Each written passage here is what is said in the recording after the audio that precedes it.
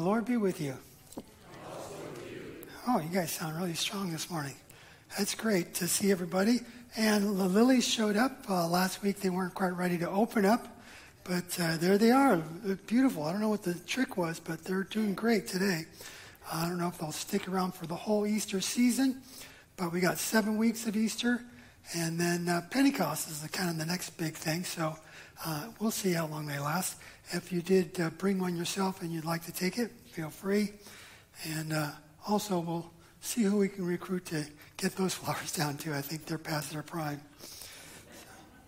Well, uh, we'll begin with uh, another Easter, nice Easter hymn, and the greeting, He is risen. He is risen. Let us rise, please, and we'll sing our opening hymn. God bless your worship.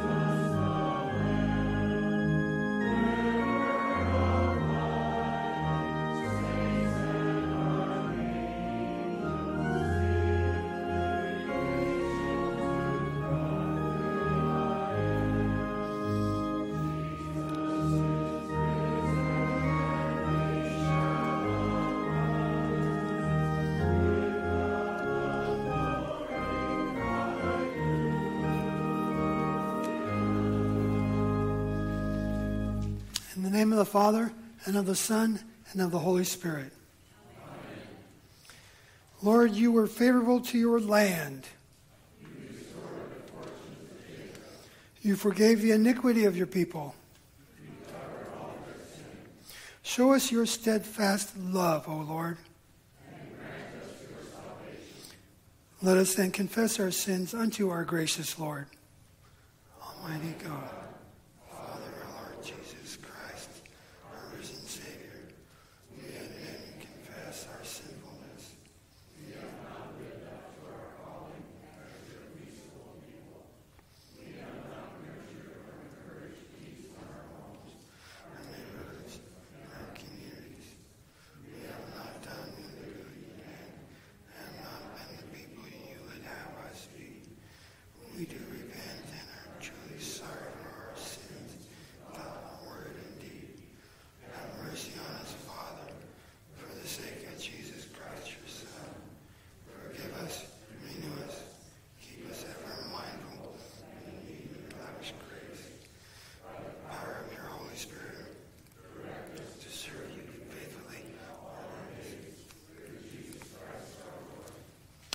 God has promises merciful forgiveness to those who repent of their sins and turn to Him in confession.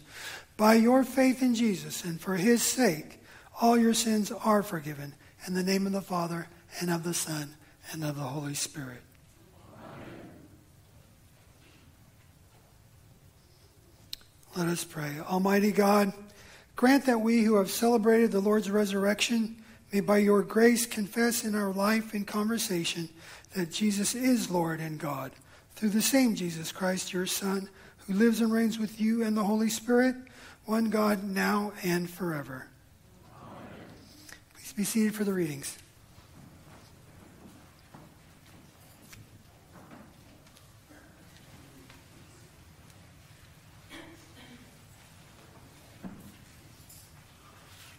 Good morning.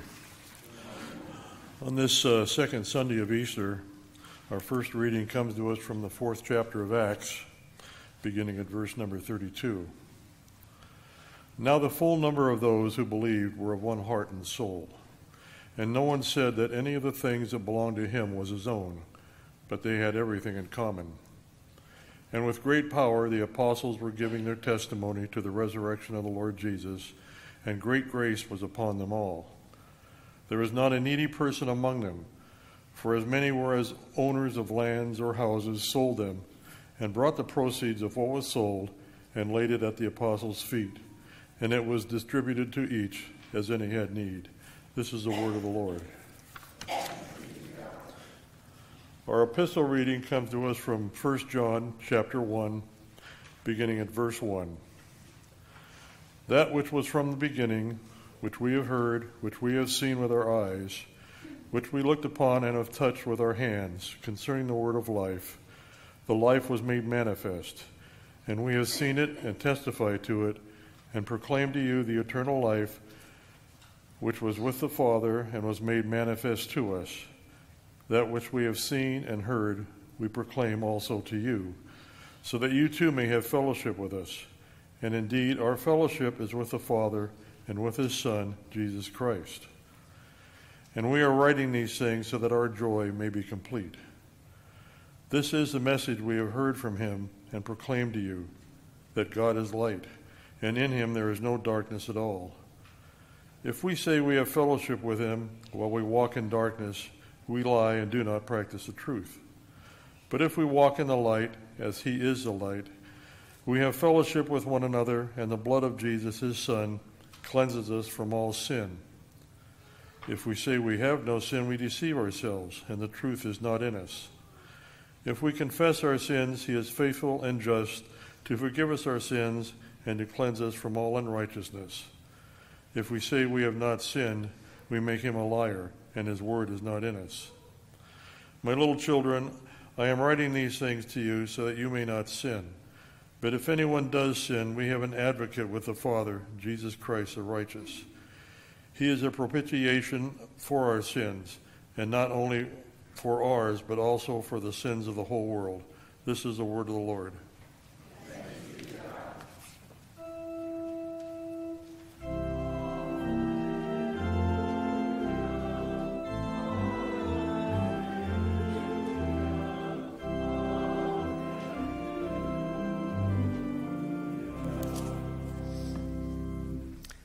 Rise in honor of our risen Lord Jesus for the reading of the Holy Gospel.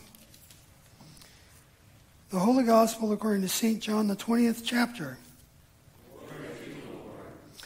On the evening of that day, the first day of the week, the doors being locked where the disciples were for fear of the Jews, Jesus came and stood among them and said to them, Peace be with you. When he had said this, he showed them his hands and his side. Then the disciples were glad when they saw the Lord. Jesus said to them again, Peace be with you. As the Father has sent me, so I am sending you. And when he had said this, he breathed on them and said to them, Receive the Holy Spirit. If you forgive the sins of anyone, they are forgiven. If you withhold forgiveness from anyone, it is withheld. Now, Thomas, one of the twelve, called the twin, was not with them when Jesus came. So the other disciples told him, We've seen the Lord. But he said to them, Unless I see in his hands the mark of the nails, and place my finger into the mark of the nails, and place my hand into his side, I'll never believe. Eight days later, his disciples were inside again, and Thomas was with them. Although the doors were locked, Jesus came and stood among them and said, Peace be with you. And then he said to Thomas, Put your finger here. See my hands, and put out your hand, and place it in my side. Do not disbelieve, but believe. Thomas answered him, My Lord and my God. Jesus said to him, Have you believed because you have seen me? Blessed are those who have not seen and yet have believed. Now, Jesus did many other signs in the presence of the disciples, which are not written in this book. But these are written so that you may believe that Jesus is the Christ, the Son of God, and that by believing you may have life in his name. This is the gospel of our Lord. You, Please be seated for our hymn of the day.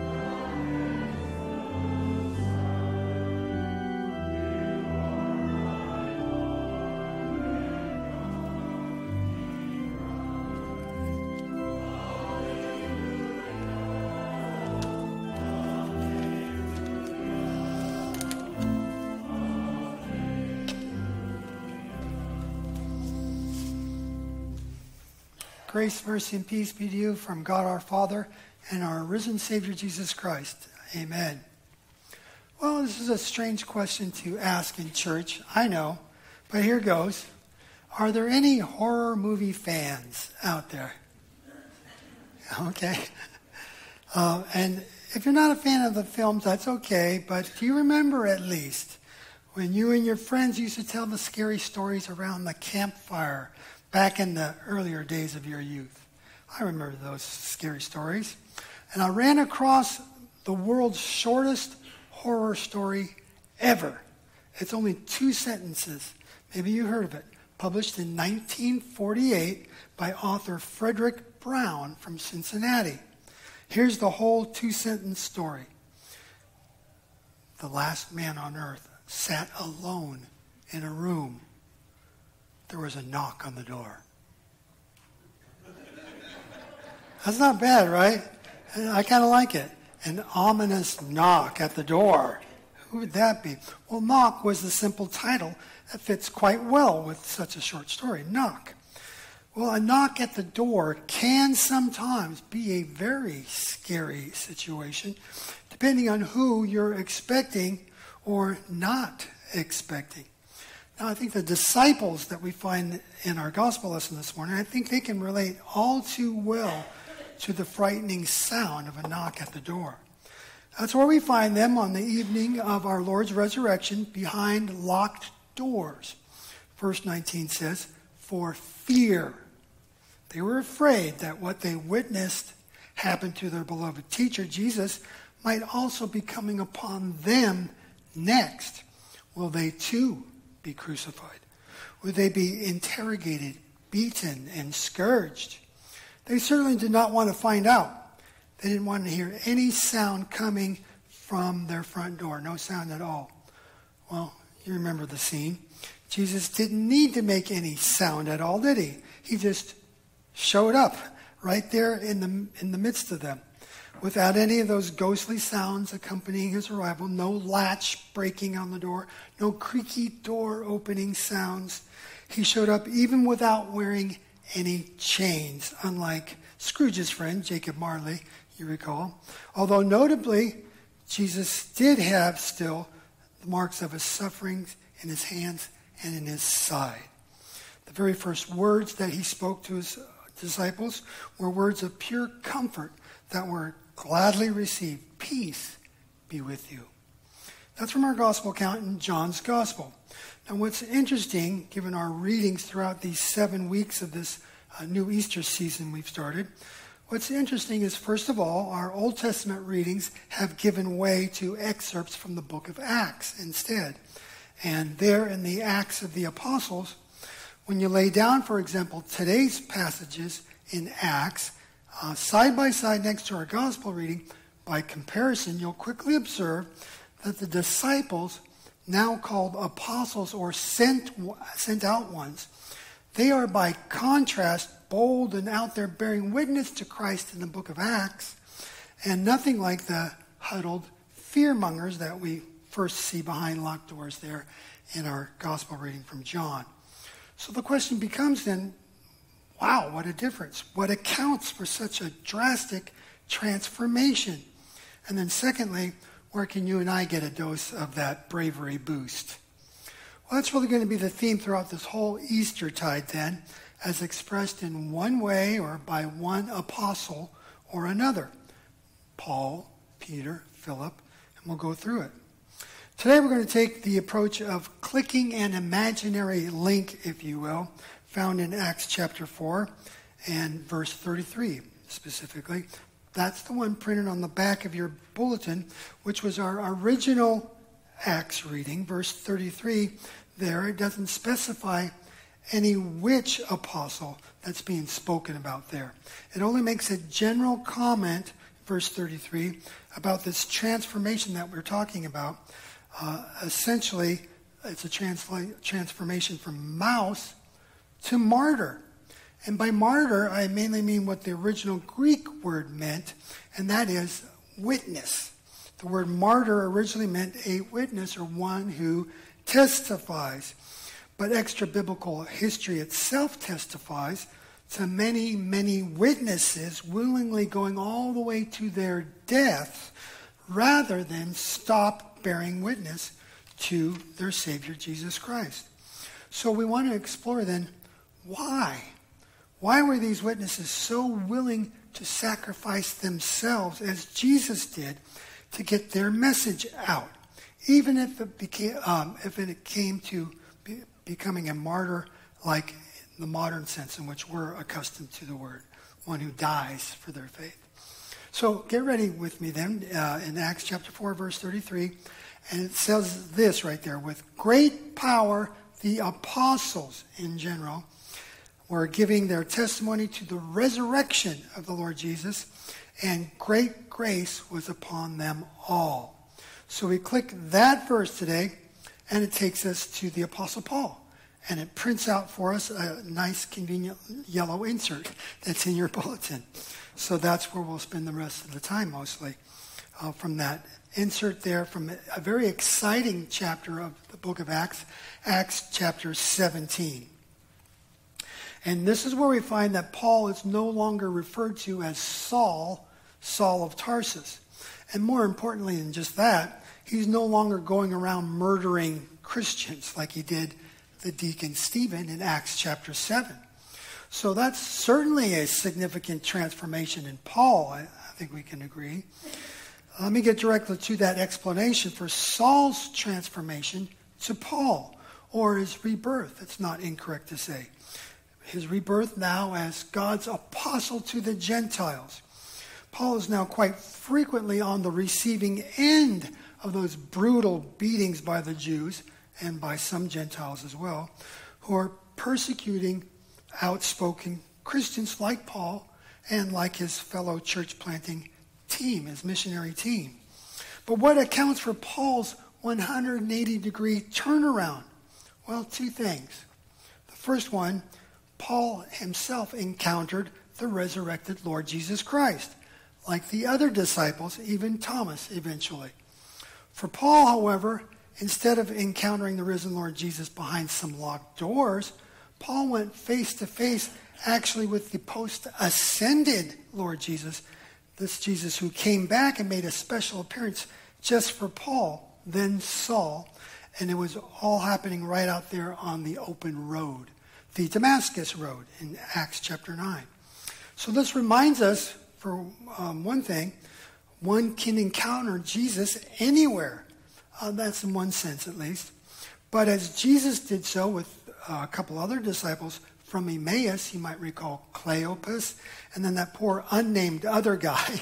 he never has a name assigned to him. But we see there that Jesus chooses to reveal himself to them in the breaking of the bread. And that is in the sacrament, through his word that he shares.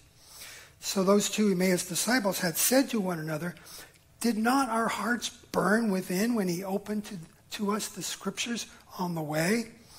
It was mainly through the spoken word also to Saul that Jesus brought out the Paul in Paul, if you uh, know what I mean there. It was mainly through the spoken word because, as you might recall, what Jesus did on the road to Damascus was blind Saul so uh, effectively, that's all Saul could do to anyone is hear them. He couldn't see them. So he heard the spoken word. But for Paul, that was enough. It was enough for Saul's to Paul's radical transformation. And I might add, it's enough for us to hear the word of the Lord today and to receive his sacraments. It's just that same living and active word which makes the miracle of baptism, that sacrament, uh, it's not the water, but rather it's the productive, potent, powerful, authoritative Word of God combined with the water that brings about the new birth at baptism. And so it is with communion. It's the Word that Jesus instituted that brings the sacramental union of His body and blood to us to nourish our faith, to strengthen and sustain us. It's God's word and sacrament. Okay, secondly, I mentioned up top there are two things that account for the Apostle Paul's 180 degree turnaround. The first is God's appointed means of grace that we talked about. The second thing that accounts for not just Paul's transformation, mind you, but all the apostles, all the disciples, and all the followers of Christ down through the ages, right down to you and me. This second thing actually is not even a thing, but a who. And I'm talking, of course, about the Holy Spirit. Now, we saw this in connection with Jesus sending the 11 who were huddled behind locked doors. Now, when you have 11 men involved in a huddle, yes, it might steer your brain right over to the NFL. And here's my dreaded dad joke for the day, all right? Just to get it out of the way. These were NFL, not fierce leaders, all right? Until verse 22 says, Jesus breathed on them and said, Receive the Holy Spirit. Then, and only then, were they all emboldened to face the lions and the chief priests. That kind of works, right? Those are football teams, I hope you got. But here's the best of all of it. And there's no joking about this part. The very next verse in John's Gospel, verse 23, defines exactly what these spirit anointed, spirit filled, sent out ones were to do with all that spirit power and authority that Jesus gave them with the Holy Spirit. Verse 23 says exactly what they are to do. If you forgive the sins of anyone, they are forgiven. If you withhold forgiveness from anyone, it is withheld. Now that's some serious business. And that is facing down demons. That's facing down our monstrous sins and freeing people from that bondage, delivering people from evil, and delivering to them the goods of forgiveness, life, and salvation. Because, as Luther liked to put it, where there is forgiveness of sins, there is also life and salvation. And we're talking about eternal life. We're talking about forever and being delivered by those who witness to Christ, even today, even now, as we did in our words of absolution earlier. It is as deliverable today in Christ's church as it was when Christ first instituted his appointed means and said with all the authority of his mighty words, On this rock I will build my church, and the gates of hell shall not prevail against it. So now we know what's at stake with those sent out as witnesses to the authoritative word that was entrusted to them by the Lord Himself. Now we know what's in the balance out there, too men's souls, their very souls, and the eternal destinies of their entire households, women and children as well as men. People whose past ignorance was formerly overlooked, as it says there in Acts 17 but now, quote, God commands all people everywhere to repent because he has fixed a day on which he will judge the world in righteousness by a man whom he has appointed. And of this he has given full assurance to all by raising him from the dead. So, this is then what motivated the new Paul, then caring for those who were presently bound for destruction and wanting to intercede for them. This from the one who, in his former life now, you recall, would not even sit at the same table as a Greek individual, as a Gentile dog. Now, the new St. Paul, or Sent Paul, ascends the Areopagus, and right there in Acts 17. He ascends to speak their Greek language, to learn and even quote their own Greek poets, in order to make a compelling relatable presentation to their Greek mind of their so called unknown God, uh, their hedge, their bets deity, I like to call it. It's just in case among their many polytheistic idols, they accidentally missed one the unknown God. The whole hill on which these philosophically minded Greeks and even some foreigners would, quote, spend their time in nothing except telling or hearing something new their ancient coffee shop, if you will. It was called the Areopagus. Now that means Mars Hill. Mars was the Latin equivalent of Ares, who was the Greek god of war. So here's Paul. He's tolerating this idolatrous setting, this idolatrous center, really, to indeed engage in spiritual battle on that war hill. Paul was willing to do all this because the stakes, again, were men's souls. Eternal destinies were hanging in the balance. Now, that to Paul was worth a few snickers that he would receive. It was worth some mockery, even, when he brought up the cornerstone of our Christian faith, namely, Christ was delivered over to our death for our sins and was raised to life for our justification. That's how Paul put it to the Romans chapter 4 there. Paul got mocked for that because that is sheer folly to the Greek. Every thinking Greek knew resurrecting crude, corrupt, confining flesh, that was doing things backwards because releasing the physical body was the soul's flight to freedom and spiritual fortune, uh, fortune rather. Flesh, they saw it as bad. Spirit, good. Sometimes Christians, we use the similar terms here, but please understand the crucial difference. The Greek mind is speaking not so much of flesh as in our corrupt hearts that need to be redeemed.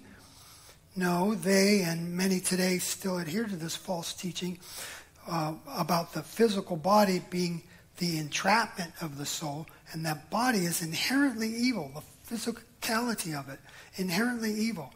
Um, not like we understand God made the physical body and said it was good, right? Like C.S. Lewis put it God likes matter, He invented it. So, good to the Greek is living in a different state of existence in the spirit realm. And so, this progression, as they see it, may or may not have anything to do necessarily with guilty vices or corrupt minds and souls and bodies. Furthermore, the progression may also be divorce, uh, necessarily, of, of putting on any virtue in place of the vices. So if you're a greeting glutton, for example, you may nevertheless still graduate out of your physical body and float ethereally above the lower material realm with the whole while your gluttonous, greedy character completely intact. You're just going to weigh less. And I suppose for some that is one idea of heaven. Today, a form of this kind of morally unaccountable progression of spirit is known as Gnosticism. Some of you may have heard of that word. And it's the kind of dangerous, ungrounded thinking that Paul was warning these Athenian philosophers about. Now, in contrast to this Greek picture of the afterlife, Christ taught, and the Christian church confesses, quote, I believe in the communion of saints the forgiveness of sins, the resurrection of the body, and the life everlasting. That's salvation, purchased and won by our crucified and resurrected Lord and Savior Jesus Christ. That is most certainly worth contending for on Mars Hill, Venus Avenue, or anywhere our feet may tread on planet Earth, because where our blessed Creator and Redeemer is not yet confessed as Lord, there, the Spirit is sending any and all who will testify to his glorious name. Now, that's a knock on the door. I pray we'll all answer. Amen. And now may the peace of God that transcends all understanding guard your hearts and minds in Christ Jesus. Amen. Well, coincidentally and conveniently, we have a creed right here on page 8 that we can confess. Not the Apostles' Creed, but the Nicene Creed on this Communion Sunday. So please rise as we make profession of our faith together. I believe in one God, Father Almighty, maker of heaven and earth, and of all things visible and invisible, and in one Lord Jesus Christ, the only begotten Son of God, begotten of his Father before all worlds, God of God, light of light very God of very God, begotten, not made, being of one substance with the Father, by whom all things were made, who for us men for our salvation came down from heaven and was incarnate by the Holy Spirit of the Virgin Mary and was made man and was crucified also for us under Pontius Pilate. He suffered and was buried. And the third day he rose again according to the scriptures ascended into heaven and sits at the right hand of the Father. Now he will come again with glory to judge the, both the living and the dead, whose kingdom will have no end. I believe in the Holy Spirit, the Holy life, who proceeds from the Father and the Son, who with the Father and the Son together is worshipped and glorified, who spoke by the prophets. And I believe in one holy Christian and apostolic church I acknowledge one baptism for the remission of sins, and I look for the resurrection of the dead and the life of the world to come. Amen. Please be seated as we continue our worship with the offering. Música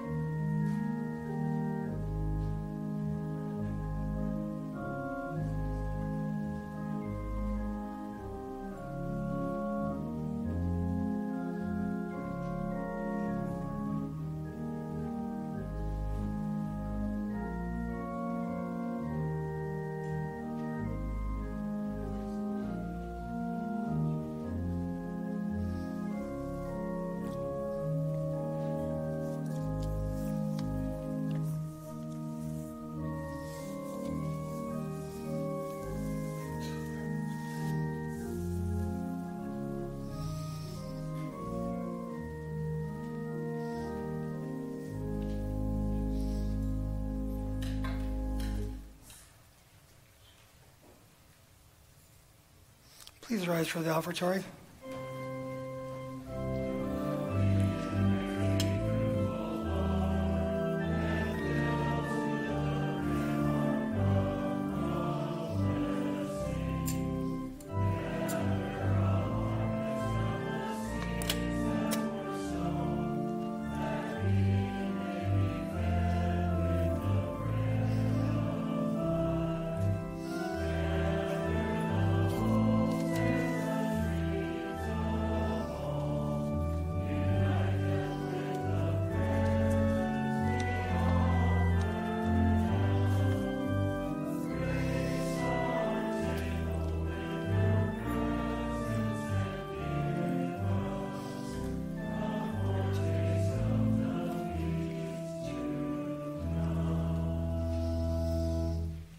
Us pray for the whole church of God in Christ Jesus, for all people according to their needs. Heavenly Father, your Son is the firstborn from the dead. In him we have been reborn into a new and living hope. Nurture us with your pure milk of your word, that we may grow to maturity of faith and have everlasting life. Lord, in your mercy, grant to those ordained for your service the gift of the Spirit, we pray, wisdom that comes down from above, and grace to faithfully fulfill all their holy callings where you have placed them. Lord, in your mercy, as your people are united in the common life and love of our Savior, grant that we would share that life and love with those in need. Lord, in your mercy. Build up the households of your people that your holy children, begotten in baptism, may grow in your grace and share together in your forgiveness and life. Lord, in your mercy. You have instituted authorities to carry out your justice. Bless all who make, administer, and judge the laws of our land. Give them wisdom, integ- integrity, and honor to serve according to your goodwill, Lord, in your mercy. As your son's wounds brought gladness and peace to the troubled disciples, give your presence and comfort also to the troubled in our midst, we pray. Comfort all those who weep, those who mourn, those who are lonely, those who are ailing. Comfort them with the blessed joy of Eastern morning's message. Lord, in your mercy. Father of the risen Christ, you have given us the crucified and risen body and blood of our Lord in this holy supper. Let us taste that the Lord is good indeed and continually grow up into salvation. Lord, in your mercy.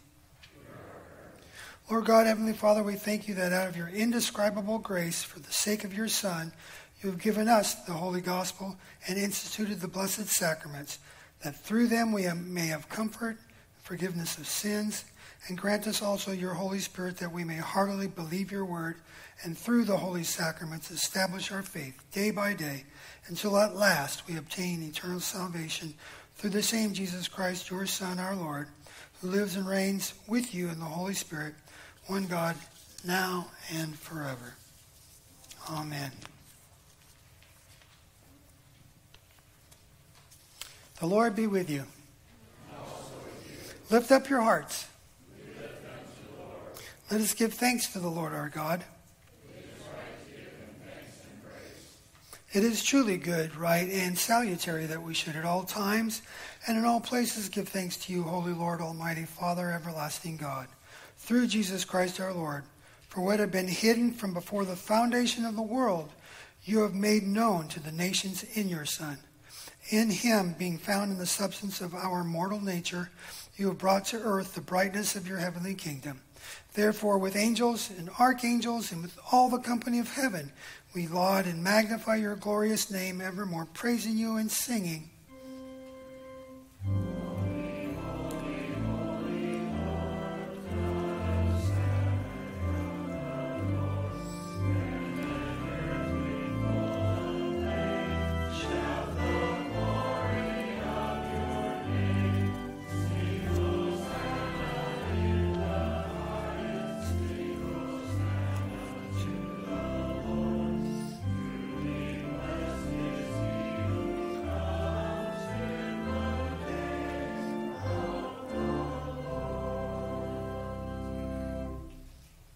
Father, who art in heaven, hallowed be thy name. Thy kingdom come, thy will be done, on earth as it is in heaven. Give us this day our daily bread. And forgive us our trespasses, as we forgive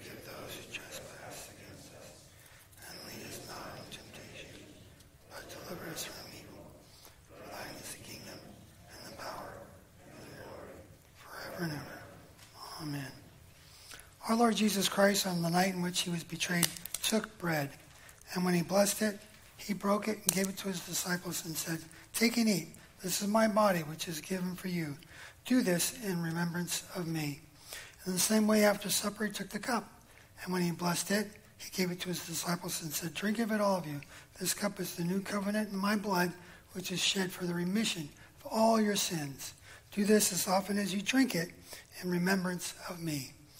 The peace of the Lord be with you always.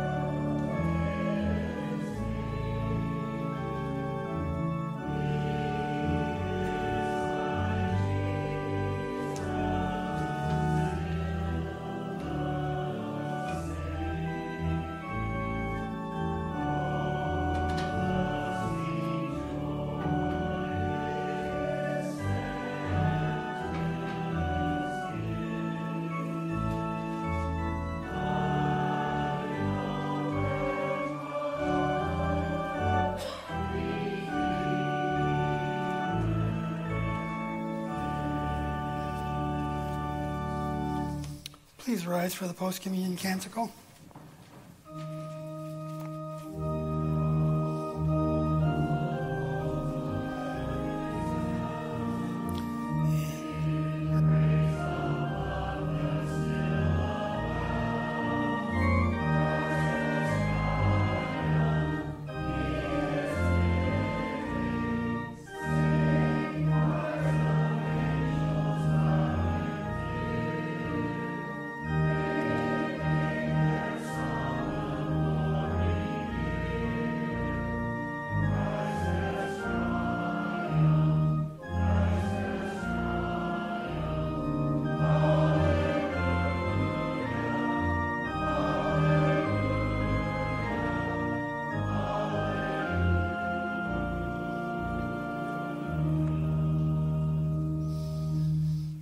We give you thanks, Almighty God, that you have refreshed us through this salutary gift, and we implore you that of your mercy you would strengthen us through the same in faith toward you and in fervent love toward one another.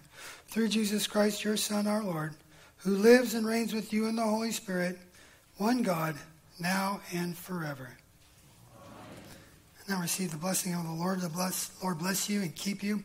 The Lord make his face shine on you and be gracious to you. The Lord look upon you with favor and give you his everlasting peace. May be seated for our closing hymn.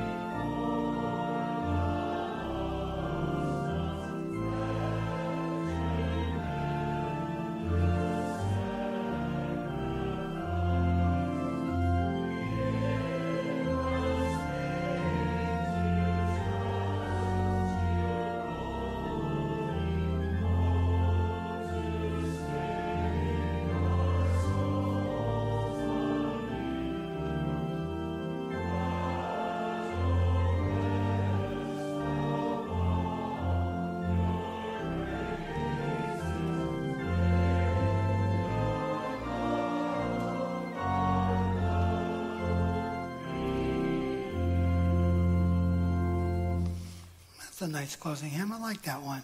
But we're not done singing yet because I got a little note here. It says there's a birthday, and I think it's Nancy Nipstadt, right? Am I right? There she is.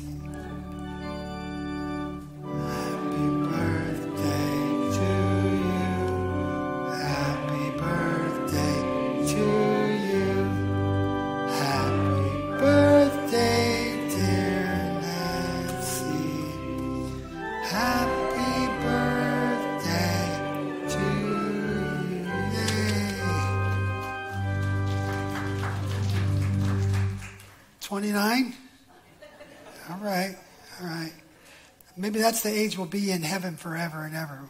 That's a good age. Um, let's see. Our hardworking elders are moving ahead with the call process uh, once again.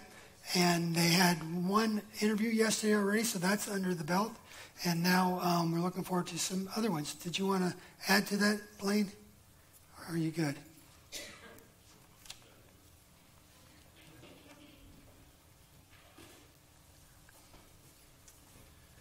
Well, we've received uh, a couple other names from the district that we're pursuing, see if they are possibly um, interested in considering a call. And they also recommended that we revisit some of the uh, pastors in the past list since it's been a couple of years since we started this. Their situations may change, so we're reaching out to them to see if their situations has changed, that they may consider a call. Um, don't know the exact timeline. Probably a couple months. We'll have another meeting uh, just kind of estimating and see where we go from there. David.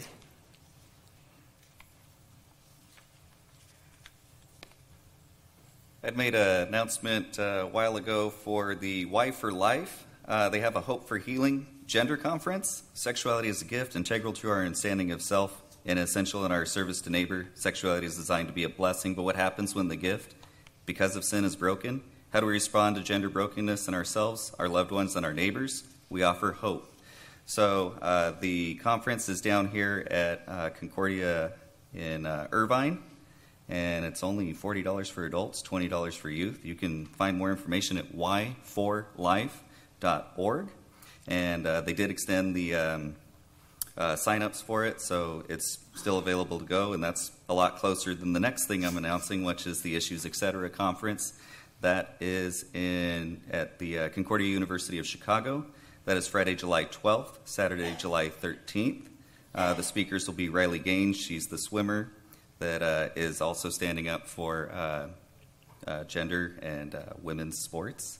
Um, Mark and Mollie Hemingway will be there. Um, Aaron Wren, Chris Rosebrough, Bryan Wolfmueller, and Will Weedon will be leading the um, the hymn sing. Uh, that's a, a, really awesome Christian Lady Conference to attend. I'd highly recommend going, despite myself never having been. Um, but, you know, may, may, maybe we can go. Maybe I can go. They're already up to 200 out of the 500 slots, and after they sell out that 500, sometimes they'll add an extra 50, maybe. So, anyway, good, good Thank stuff you. around. Yes, and even closer than all that, uh, those are good announcements. But something you can just drive to on a Sunday afternoon. I'm talking about April 21st. The Klitches are opening up their floral gardens. Once again, they're in bloom. Very pretty. There's going to be tea and all sorts of good stuff. Last time we went, we had a great time. So that's the 21st, two weeks from today, between 1 and 4 o'clock. Put that on your calendar. And uh, anything else? Then the Spirit of God go. Oh, sorry, Sharon, go ahead.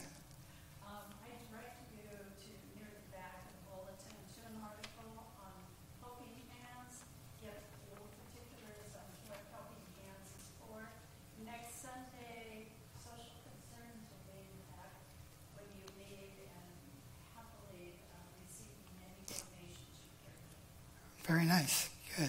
All right, well, go in the love of Christ, fellowship of the Spirit. God bless.